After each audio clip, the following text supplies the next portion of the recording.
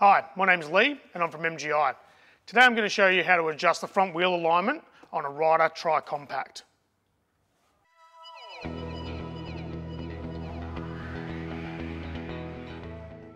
You may find that your buggy is veering to the left or to the right, and this is easily adjusted by using the front wheel locking mechanism. You can just release this locking mechanism from position, and give it a couple of turns, and using thumb screws, you can turn up or down.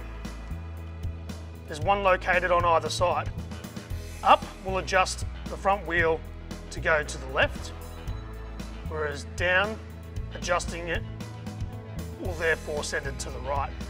That's the same on both sides and they can be both done simultaneously.